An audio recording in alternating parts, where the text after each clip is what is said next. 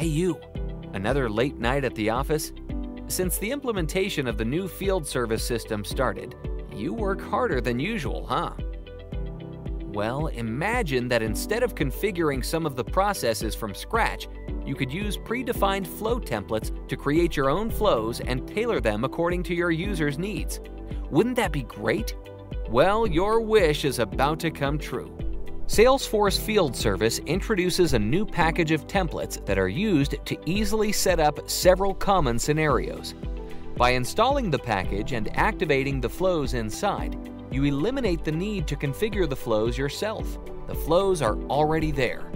All you need to do is to adjust their settings according to your business requirements. The package includes exciting features. Let's see some highlights. The Gantt label automation template automatically populates the Gantt label field with the customer name and the work type. The template can be customized to display custom fields, for example, customer service level, service cost, and more. The service appointment parent field is a polymorphic field, meaning it allows the service appointment to be linked to parents from multiple objects.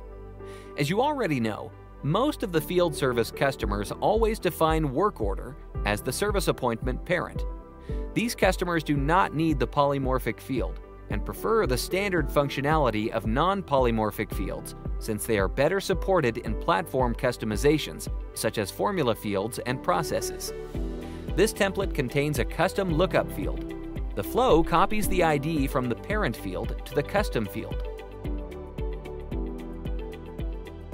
The assigned resource related list under the service appointment supports multiple resources working on the same appointment for example, if the appointment is assigned to a service crew.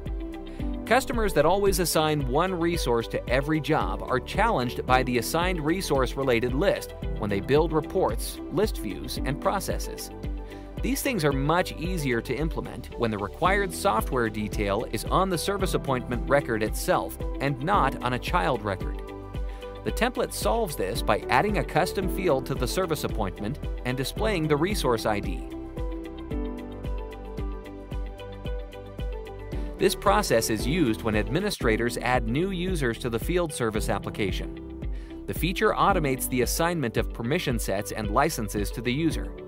In the case of new field resources, the process also manually creates a service resource record for the user.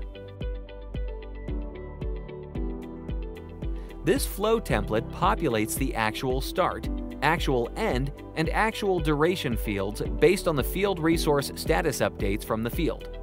Customers find it very useful when they analyze their planned versus actual data or when they want to update their work type default duration field for better schedule planning.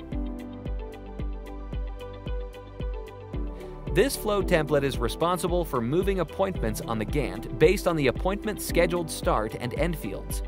These fields are automatically updated by the field resource status change. Customers with volatile schedules can benefit from this feature when decisions need to be made or processes need to be triggered based on the actual job start and end times. Honey, you won't believe it. I'm heading home, and it's not even 5 o'clock. We've implemented a new package today that makes my life so much easier. To learn more about the package and its features, click on this link